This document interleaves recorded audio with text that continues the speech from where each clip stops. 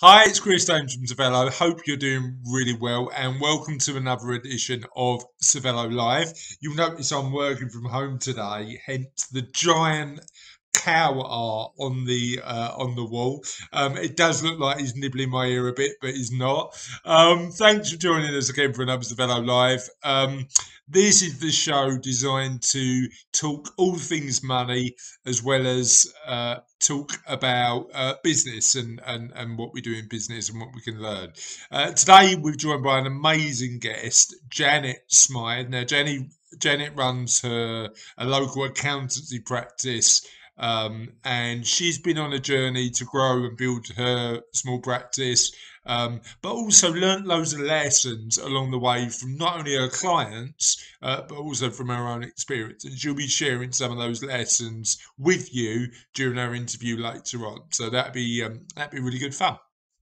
But before we do that, I want to talk about something we're doing at Cervello called the Cervello Guarantee. Now, the, re- the reason that I want to want to talk about that is because what we wanted to do at Cervello is try and make it as easy as possible for our clients to engage with us and know that they had some assurances before they wanted to work with us. So we've put in place a number of guarantees that I want to talk to you about. Before we do that, I just want to talk through those guarantees. So number one is satisfaction guarantee.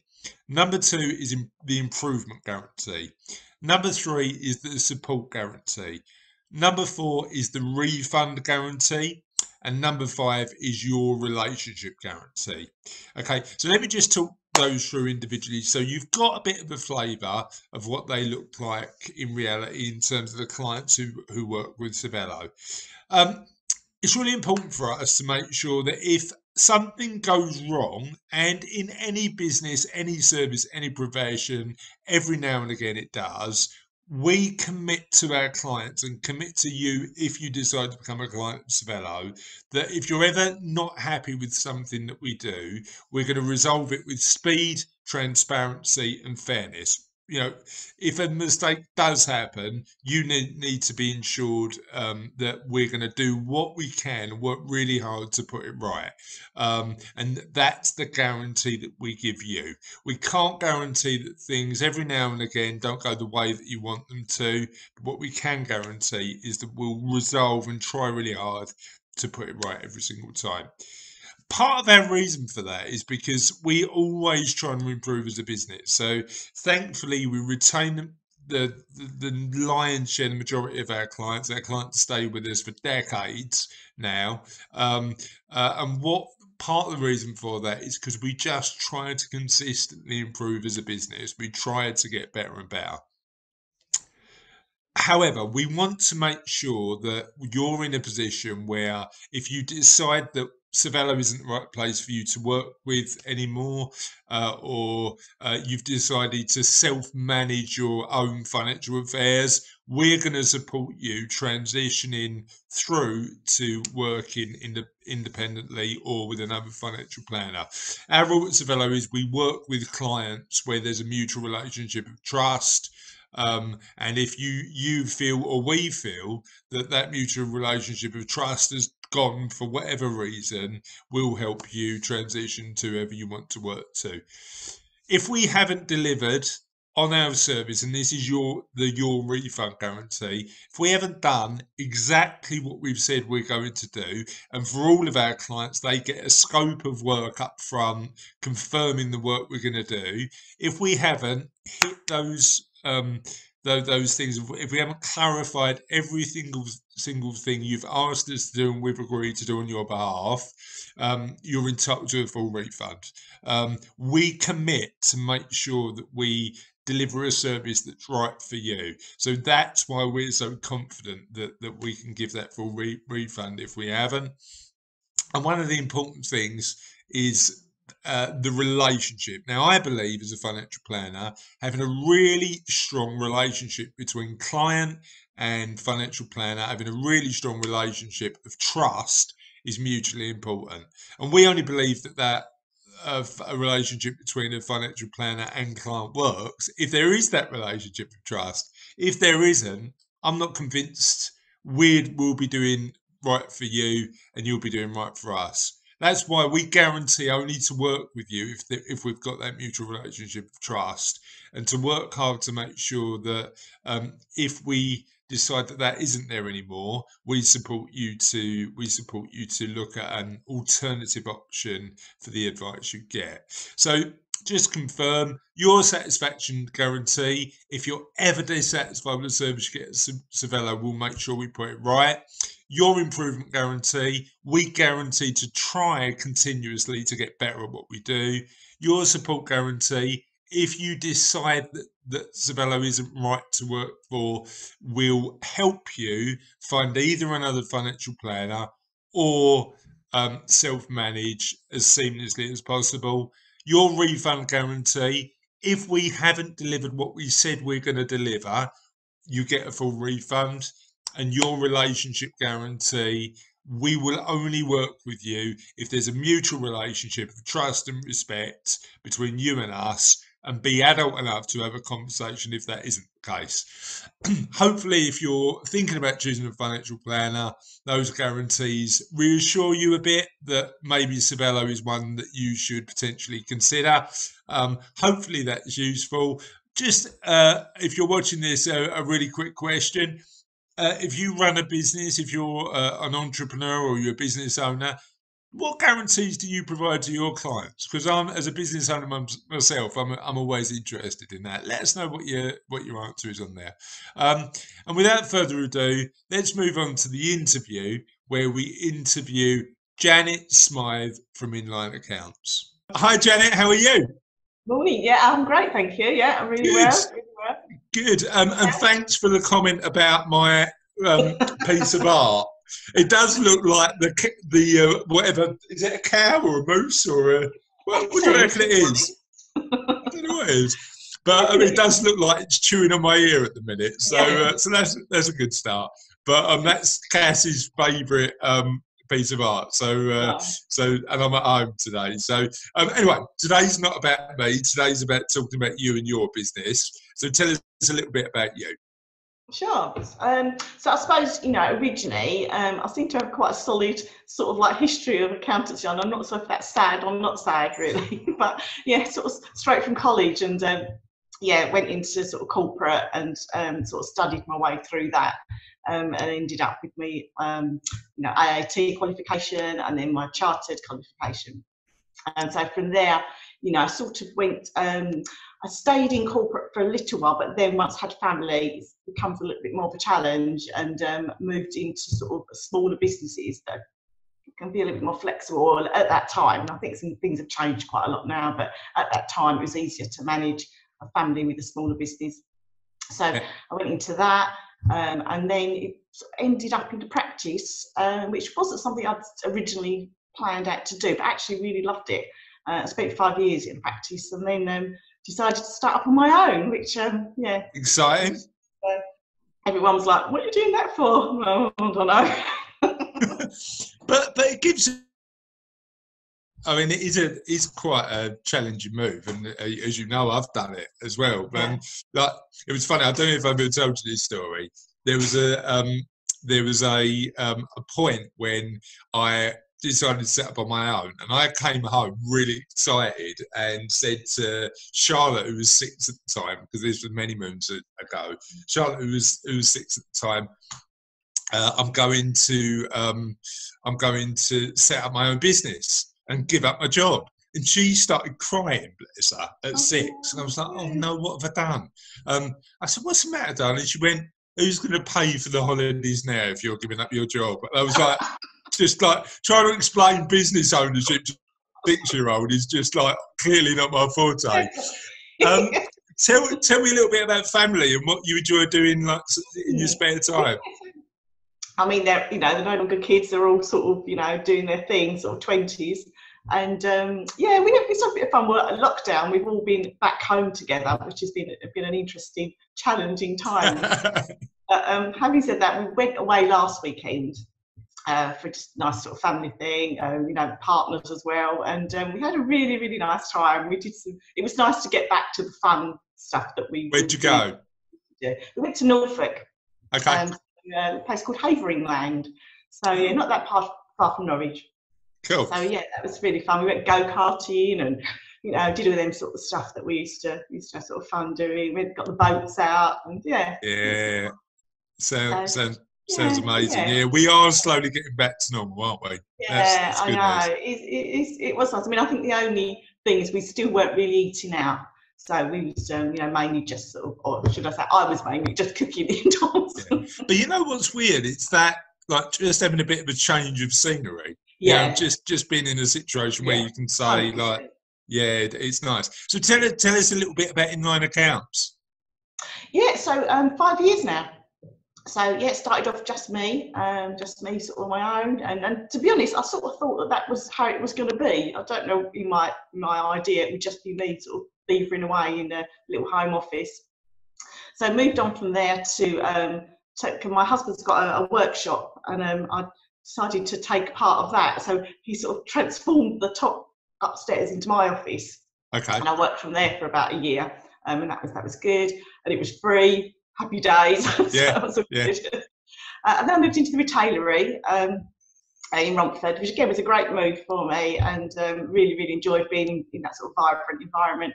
Um, and then and the, things started to grow and grow, and I realised mm, actually I need a bit of help now, so I'm getting a bit snowed under. So brought on the first sort of lady who joined me, and I had an interesting interview with her. I did sort of know her a little bit, so we were sort of, sort of um, good acquaintances. We had a, an interview sitting on the sofas at the retailery. And, um, it was sort of around about the 20th of January, I think. So it was coming towards that sort of franticness of the 31st.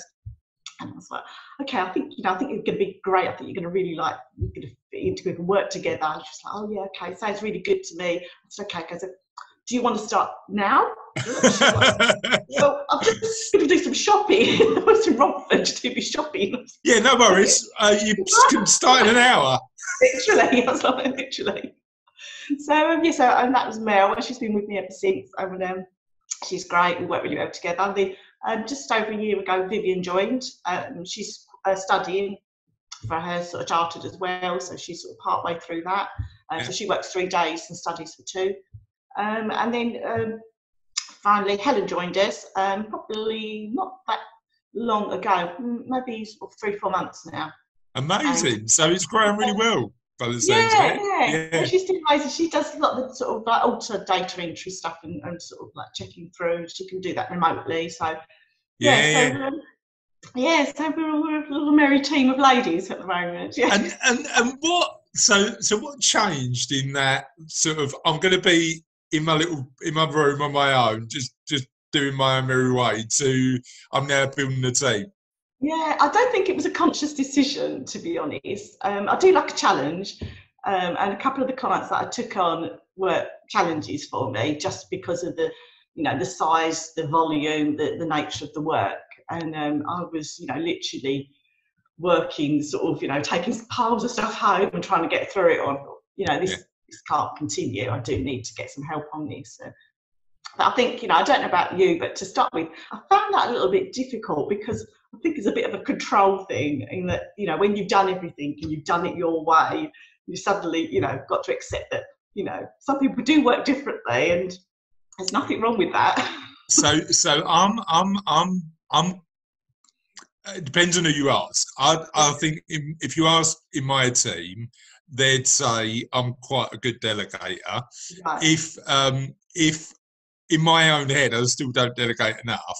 But I've Yeah. just done a thing in the business. We've been during lockdown. We I did, you know those those working on the business jobs you sort Yeah. of put off for ages, and then you're Yeah. in lockdown. Um, and we didn't have that. I mean, we new clients are coming back in droves at the minute, but we Mm. we we didn't have any new clients that was uh, at the start of lockdown so it allowed me to focus some time on working on the business as opposed to in the business which was great and i did everybody's job profiles and said these are all the jobs we do um, have you read the e-myth have you of No, I know, I know what you mean, though. Yeah, I know what you mean. Yeah. I listed all all the jobs, um, and and it was funny because because Cassie um, Cassie had loads of jobs on there, inc- Yeah. including like payroll and Right. bookkeeping and update. I mean, we've got an accountant, but Yeah. updating updating Xero and stuff like that. Yeah. Um, and she's like, I want to keep control of that, and I'm, I'm like, you need to give that away at some point in the future. I don't know when it's going to be. So I'm trying to, I'm trying to, I think I'm all right at delegating. Trying to get everybody else to delegate as well is, is not the easiest job, is it? Yeah, yeah, yeah. It is, it is a difficult one. And um, yeah. yeah. I mean, you've got to because, you know, you're your own worst enemy if you're not. Yeah, yeah, absolutely. And clearly you can't. So, yeah. Yeah. Yeah. Um, yeah. So, what's the future hold then? Like this, this sort of accidental growth happened, um, yeah. unintentional growth happened. What's the future? Do you know? Yeah. I, I mean, yeah. I mean, we're, we're good. Well, we think to just grow um, generically. You know, I don't particularly market, which you know has been really frowned on by some of my sort of creative clients. They're sort of like, why don't you do this? And I'm like, why are you not getting out there? Yeah. I know, literally, literally. So yeah, I'm, I'm, yeah, I don't know if it's laziness or whether it's just, um, I suppose, because we we sort of grown in that manner. Um, it's it's not been a, a necessary. So I've, you know, I've just not done a lot of social media and and sort of stuff like that. And I think um, if where we grow, it has to be at a steady pace. I can't, you know, manage, you know, a huge influx of, of clients because you know it's like when you're onboarding people, there's a lot of preliminary work to do. Yeah. So you know, and and, and if, if, I take on too much, then I, I, can't offer the service that you know I, I do think it's important and I, I want to value. Then, but then that's one of the interesting things. Part of the reason maybe why you don't need to market is because you mm. do a really good job and people refer you, right? Yeah, I think you know.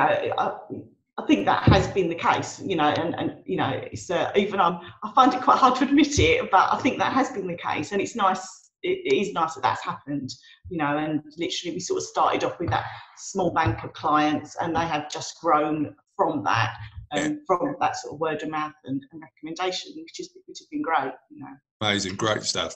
Um, yeah. So what I wanted to do today is talk to you a little bit about um, the recent changes that the government have made because I know that like in the early days of lockdown uh, we had uh, an accountant on Cervello Live John who was talking about about the furlough, uh, mm. some of the grants available up front. Um, but there's there's been some more things. Yeah. There's been there's been an evolution in what that support looks like now, yeah. and yeah. Um, it's it's actually changing. So tell, tell me a little bit about the changes. So I mean, definitely the furlough. That's that's been sort of huge changes, and we're just doing the, the start of the sort of flexible furlough now because that started from the first of July. Um, and that's quite a challenge, really, to, to sort of manage that. Um, yeah. and, and, because the revenue brought in the system so quickly, it's, you know, as we've discussed, it's not particularly friendly to, to input into. No, very, you, very you, you, were saying the other day it's a lot of manual input, right? Oh, yeah, definitely. And yeah. I think the other thing, it would have been, I can accept that if I do it once, but actually you've got to do it every month. You know, you do that whole manual input. Um, and so that's that's quite time consuming and and tedious so um, and is that actually, right let me let me ask you a question then is that a, is that a janet job or is that a delegate job I must be, I do that. I do okay. do that. Yeah, I know, I know, and it's it's a hard one because um, I did have a lady coming in who did did all my payrolls every month, um, Unfortunately, she has she couldn't come in because of um, her age. So, um, and she was a lady I've worked with pre my previous roles. Yeah. So um, she's sort of based at home, um, and I'm not able to set her up remotely on this payroll system at home. Gotcha. It just meant it sort of fell fell to me to, to pick up, but um, so which is so so in, input in the input in the um, uh, furlough is a, is a manual process. Mm. Is that does that apply to all employers? Like if you've got a thousand people on the payroll, does that still impl- uh, It's um, up to ninety nine. Yeah, ninety nine right. employees. Um, over that, you can do an upload on it. But that's still a decent size. Well, yeah. but that's a body of work.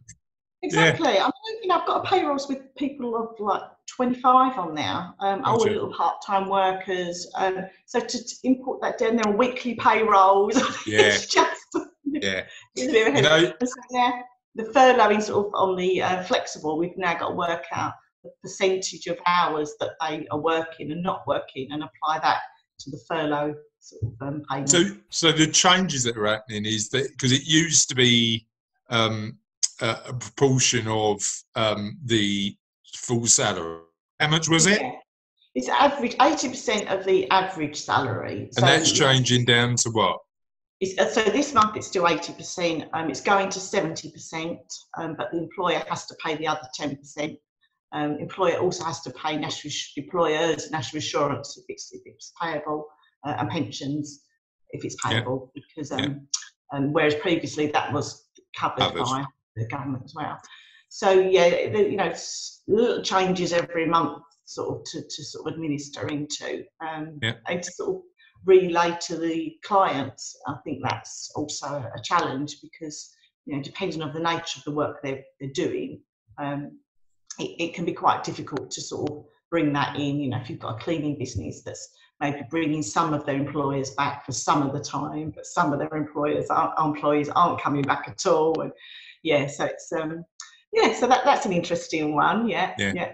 Um, and is that is that is that coming down now? Is that like is that going to end at a particular point, or are they going to review yeah, at a particular think, point? Um, oh, I can't remember the email sent out. We've got July, August, September. It's definitely. I'm not sure about October. Yeah, I need to just check, double check that. But I think it was definitely July, August, September. Okay. Sure, October. Okay. Yeah, and then, and then we're all and, change it again, of course. Yeah, which they might do. Which they, yeah. it's a moving feast at the minute, isn't it? Yeah. Um. Uh, but I mean, I suppose the interesting thing is it will have to come to an end at some point, won't it? That's the challenge. Yeah, yeah. I mean, you know, having said that, you know, the other thing that's come along is the um, this sort of little grant that's going to be administered in February. Okay. So if you're still employing people um, in January, which have been uh, furloughed, furloughed during the past few months, you then and their monthly salary is an average of um, 520 pound. Yeah, you get you get a bonus for continuing yeah. to employ, right? Yeah, yeah, yeah, yeah. So that's quite nice as well. Um, yeah, that's yeah, good. I think it's always a little bit of shame when you've got some people that maybe fall just outside that. But you know, I suppose they've got to set the bar somewhere. It's, it's, it's, uh, it's, unprecedented, isn't it? So, so who knows? Talk to me a little bit about grants. Like, what grants are available? Still available? Are they all gone? Or what's happening with grants? Deadlines starting to pass on the grants. Um, they, they had to sort of put, put the stake in the ground on that. Um, yeah. But they, I mean, they were great for some. Again, some businesses. You know, if you fell within small business rate relief, you know, you got the um, grants automatically um, given.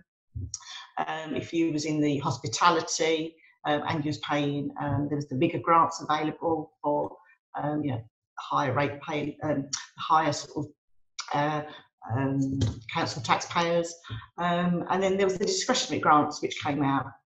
Um, which I think yeah. that was again an afterthought to pick up mop up some people that weren't getting anything, but actually were still having to pay out. Um, so you know that that was all that was all great. Um, you know, we had a few um, few oddies that you know we was rushing through paperwork to try and get them sorted out, where they was having to provide copies of the lease, but the lease was wasn't correct, so they're having to get to solicitors. Yeah. So yeah, that that that was um, that was a bit challenging, and there was um, administering in different ways.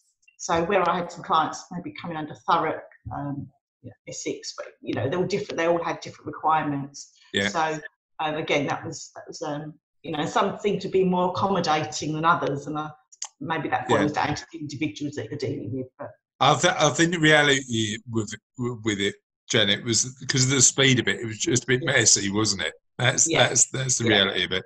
Um, yeah, but I, I, know I know that I know that one of the things they brought in was a deferment in terms of paying certain taxes. Help me yeah. understand a bit about that. Yeah, so that, that was again a really nice little help out for um, VAT deferment. Um, that's stopped now. Um, but uh, having said that, I, you know, I was a little bit like, well, if my clients can pay it, I think you should pay it yeah. because all you're doing is you're not going to get away with this. This is just delaying the pain well, until. It's, it's an interesting one. So we we we had a couple of clients who used the mortgage holiday. Yeah. And the interesting thing is, um, for a couple of those clients, they didn't have any drop in income, but they said, well, we might as well use the mortgage holiday as a as an opportunity just to because we're feeling a little less secure than we did. But the challenge Yeah. we've got is it wasn't a holiday. It, the No. capital was just added on the end. So Yeah, actually, yeah. you go, all you've done is extended your term by a little bit and paid a bit more interest. exactly Um, right. Yeah, yeah. so- and, I, I felt the same about you know even the July thirty first um, payments for your payments on account for self assessments. Yeah, because that got deferred as well, didn't it? Yeah, Yeah. yeah, And I was like, do you know what? If you've got the money, I would pay it Pay it. because you know, come January, you know, you're going to have such a big tax bill, and you know, Yeah. it's, it's just painful, isn't it? So Yeah, on. yeah, I- I sort of feel like, well, if you've had that money, so potentially you've, you know, in, in the real world, you should have saved that tax for that money. So Yeah. it should be sitting there, but Yeah, spot on. Um, so- So, I think one of the one of the things that we've learned throughout this period is having access to really up to date numbers um, has been vital because we've been able to manage our keep really good cash reserves and, Yeah. and manage our finances throughout that period. Mm, Now, I appreciate that that's not not, not ideal for everybody, but I think it's important. So, if you're a business who throughout this period has said, you know what, I really need to get on top of my numbers a bit more, how do they do that? What are the steps that um, that, that they do that, and why do you think that's so important? Yeah, I think you know. I think you definitely hit the nail on the head. It's been um, crucial to have that, that information to hand, and um, you know that's our first discussion with a client. Is that you know what what do you currently use, um, and you know if it's not something that's cloud based, that's got bank feeds on it, you know we're already on a, a struggling a little bit with up to date information. So we have been um, promoting. You know we're we're a Xero sort of um, advisors and um, we, we put in we start them systems up for people um, we get the initial data in there for them if they want to manage it after that then that's absolutely fine um, and we'll just give support on it but you know for for all the clients that are on them systems you know we can access that data we can provide the reporting on it we can show people how to access the reporting. You know there's add-on forecasting apps you know Yeah. if that's the sort of thing or we export into our own sort of forecasting spreadsheets and, and work on that. So it's you know it's, it has actually you know it's worth its weight in gold really. Definitely, um, hundred you know, yeah, and we've been able to access some, um, you know, discounts on that, which you know gives you a bit of a starting point. And, and if it's still not, you know, within the budget, there are the starter sort of situations which you know work out around about five pounds a month. So there is there is there are affordable tools out there that, Yeah, that allow you to do that. How many people still come in with a bag of receipts and paperwork? And yeah, we still get a few, a few, you know, and we do, we do try. Um, but even then, we now say, okay, you've got your bag receipts, but we'll have the bank statements in a, um, you know, a CSV format, Yeah. and we'll import them like that, and we'll still work, we'll still work with them in that format. Yeah. Because you know, them whole days of just sitting there punching in loads of loads of data, manual data entry. Yeah. you know, just duplicates work, doesn't it? yeah, and, and it just it's that sort of scope for errors, for you know mistakes. You know, we're all human. This, this Yeah. key, you know, then spending ages trying to find out where your reconciliation is. You know, so yeah, we've definitely steered steered away from that, and I think this has accelerated it. Hundred percent, hundred percent. And and in terms of the, the the recent situation we've been in, mm. how would you how what would you what, what recommendations would you give to a business to prepare for volatile times? Now, hopefully, we're not going to have a time as as strange as this again, but the reality is change happens, right? So how how can businesses make sure that they are ready and prepared for when times are tough? I think definitely being up to date is is you know is quite crucial um, because at least you know you know who owes you money, who doesn't owe you money, you know what's your trends going, um, and and so you know if you're up to date on those situations, you know you're you're you're halfway there. I'd say you know communicate with your accountant, you know.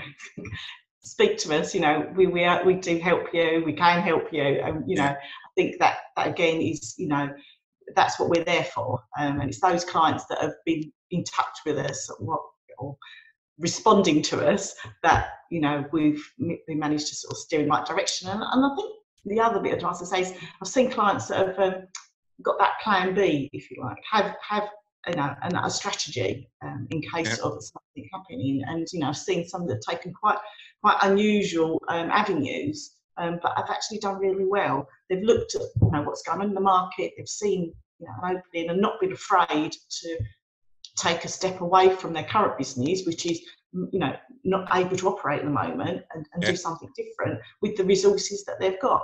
And and that's been interesting to see that. And it's definitely those that have, have thrived almost um, under these circumstances. You know what? I think you're right, and I think I think like still taking action at a time when when it's I, get that it's difficult to, but mm. actually like sort of just accepting the reality is and then thinking about what else you can do is is yeah. is the important thing isn't it? Yeah. Um, yeah. yeah. 100% yeah. Um um yeah it's, it's an interesting one because we're probably both in the same boat. You know we having conversations with us, a financial planner and an accountant, are not the easiest conversations to have, are they? Um, um, and I, we, I think, I think we, we probably make it easier than most. I hope, um, but I think, particularly in the UK, there's a stigma around money, and there's a stigma, oh, stigma around yeah. talking about money. Um, yeah. And actually, part of our challenge is just saying, look, we've all made mistakes. Yeah. You know, we've all we've all got things wrong. Um, uh, but the only way that you can make progress is just looking at the reality and, and, and moving it forward. Um, yeah, yeah, and, but I mean, I, I, don't know if you find this, but sometimes with clients that a bit of time. So I'll I'll do some work on that, uh, do some work with them, and then the following year they'll go. I didn't tell you about this, Chris. I'm yeah. just gonna I'm just gonna share this as well. And that relationship of real yeah. genuine trust takes takes a little yeah. while to build yeah yeah i think i think you're absolutely i think you hit the nail i think it, it, people are sometimes embarrassed about you know maybe a situation they're in or something that's happened and you know i think it takes a while to people to accept that you know we're certainly not, never going to judge like you say we've all made mistakes we've all done things that you know in hindsight weren't the right decisions but you know that, that that's you know by consulting with somebody who might be able to help you make a different decision. I think yeah. that you know that's the that's the important thing to, to sort of learn really. And, and on, on that note, um, uh, what mistakes do you think businesses make that that other businesses can learn from? Yeah, I, th- I think you know from from what I've seen, um, one of the one of the, the, common mistakes is actually to get quite a successful business who's growing quite quickly, um, but then they spend too quickly, um, and the, the growth is not sustainable. Um, so scaling up your workforce too quickly, you know, moving into um, big premises too quickly, you know, all them things drain that sort of, that margin Cash. on the company, yeah. and, and that then becomes uh, just that you know literally huge drain on the company that it can't be can't sustain and, and I think it's very difficult to recover from that then because you know there, there are ongoing costs um, so you know you are really in a situation and all it takes something like what we've just had um, they literally cannot cover your costs then. Yeah yeah. And you're really in a spiral. So yeah. I think you know and my other top tip would be like don't spend your tax money you know don't spend your vat money you know and i think that's that's the other big mistake that you know keep a separate pot for your your see we your we, we we do that right? And we've yeah. got this weird name for it in in our business we call call it the squirrel fund you know like the nuts and the squirrel so we've got I, I i i like every now and again like we have we have a monthly finance meeting in our business yeah. and a quarterly strategic one. And yeah. on the uh, on on the monthly one, it's like how much is in the squirrel? We don't even call it the squirrel account anymore. We just go, how much is in the squirrel? Like, like, uh, and, and Cassie will go X amount of pound. Like, and yeah. I'm like, okay, I know, I know, we've got enough to cover all our, all our, yeah. all our stuff. And but yeah, that just separating the pot Absolutely. Sign uh, is, is a really good way to do that. And certainly yeah. we recommend that in the world of financial planning. Like if you've yeah. got a if you've got a longer term, medium term, and short term goal, just Yeah. physically separate the money, you know, and, and have separate pots to do it. Um, and make, make makes perfect sense to do that. Um, so we've talked about the mistakes that businesses make. What um, what are the three things you see your clients do that result in business success? Yeah, I think you know those that that come to me, and I, you know, and that you know, I've been t- took clients right from the beginning when it's just an idea, um, and up to them turning over, you know, five, six million, you know, within three years, and you see the trends on that, and you see the, the you know the people that are involved in that, and and the the sort of roads to success. And you know the things that stand out to me, you know, first of all, you, you need that energy, you need that enthusiasm, passion for what you're doing um, to succeed. And I think that's a real common thread. All the people that I see it's like are, are passionate about what they do. I love what they know, do. believe in it. And, and, and, and ultimately, when they're selling it, it comes over to other people that they are, you know, that they are genuine, that they you know, love what they're doing, and they're going to do their best for you, whatever it is Yeah. that they do. Whether they're selling you a car, whether they're you know, doing a bit of artwork, whether you know whatever it is, you know, I think the energy and passion are there.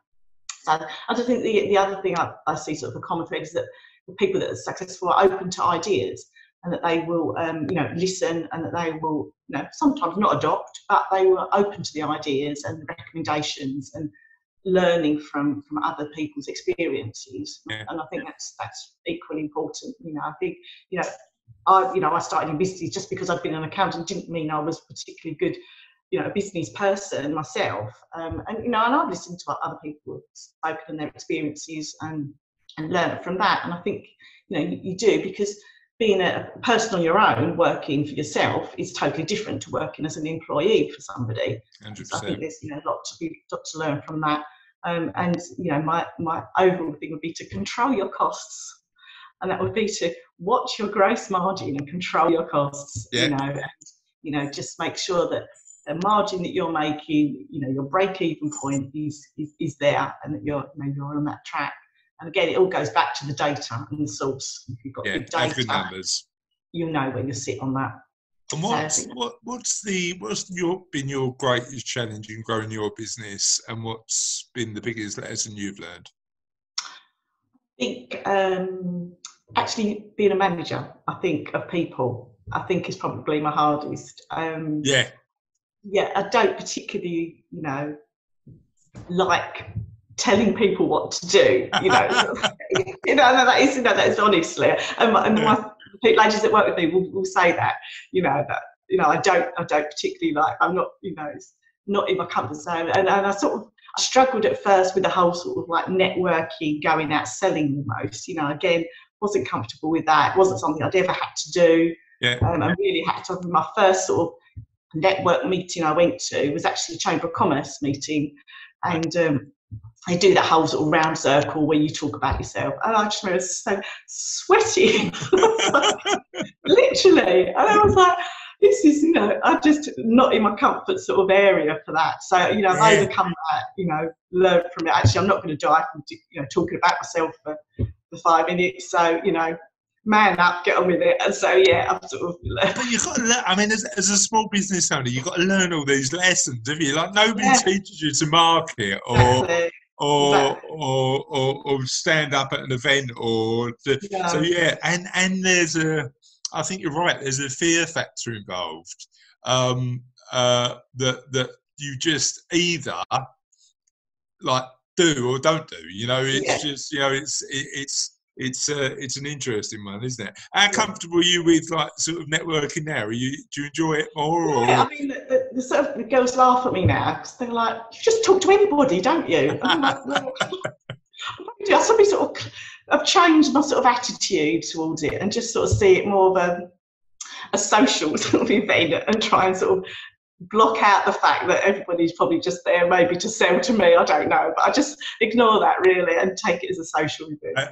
Yeah, I, I, I, I think I think you like. I'm, I'm, we've probably attended a lot of networking events, but the Yeah. I think you sort of know who's trying to give you a pitch, and Yeah. you sort of slowly work out who's looking to build a, a longer term relationship and Yeah. potentially work together. But that Yeah. takes a bit of skill as well, doesn't it? Because I've does, I've been. I've been a network meetings where I've spent an hour talking to somebody and they're just talking at me. Yeah. Um, and I'm like, I just, I, I've wa- you've wasted my time, and actually you've wasted yours because all Yeah. you've done is yeah. like, not focused on the div- yeah, pitch me. yeah. Um, don't, don't pitch me. Don't pitch me. No, I Um, know, and I, I do. uh, Yeah, I've sort of. I think I've learned that as well, and I, I, I sort of, you know, steer away from that. But Yeah. you know, I've met some great people through through networking now, and I think that's that's the thing that I now get the value from it. You know, people that I met right at the beginning, and you know, when I started out.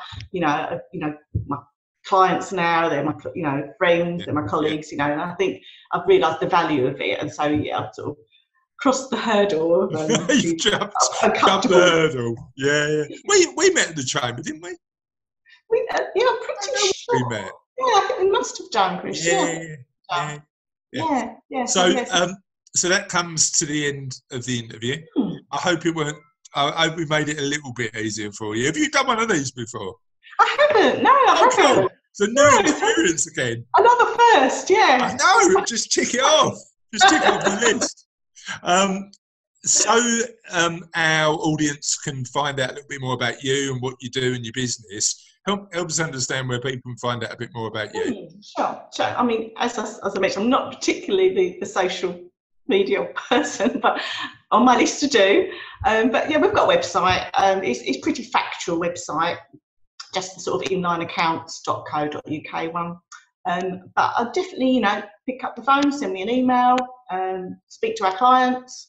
You know, all of them things. We've got some clients listed on the um, on the website, sort of for recommendations they're um, they're always um, a good. I think you know I, I would have confidence going to somebody who's used somebody and to get their opinion, you know, good or bad, you know, what their Yeah. experience is. More than happy for people to do that. Um, I would say drop in and see us, but look, have to be through the window now. I think you know. Maybe- But Maybe one day. Maybe one day. yeah, I know, I know. I- It's such a shame.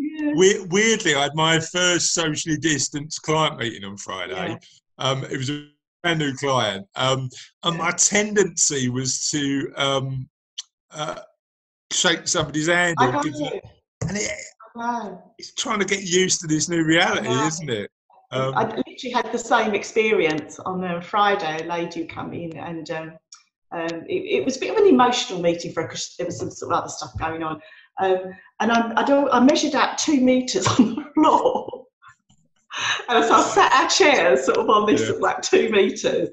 And I, I felt it was just, oh, Yeah. it was just horrible because, and you know, like you particularly, say, if, particularly if you've got a client going through a bit of tough time, you want to you you you want to you want to like be empathetic, don't you? And that's Yes, the thing. definitely, definitely. Yeah. So, um, Well- yeah, we got through it. So, We'll we'll get there. We'll we'll, Yeah. we'll, we'll we'll get back to whatever new normal is New, um, new normal. pretty soon. one, isn't it? The Um, thank you, thank you so much for getting Ah. involved. I really appreciate it. Oh, Have a lovely you, day. Oh, it's been an absolute pleasure. Thank you so much. So that's the end of to this week's Cervello Live. Um, as always, uh, feel free to leave comments. Let us know what you think, um, but also tell us um, tell us what you want for future shows. You know, what we'd love to do is make sure that we're in a position where we are tailoring these shows to deal with the issues that are most pertinent to you. And I'll be putting a few bits out on social media over the next couple of weeks, um, seeing what you'd like to see. So on that note, have a lovely day. Hope you have a um, you have an amazing time, whatever you're choosing to do today, and we'll see you next time on Cervello Live.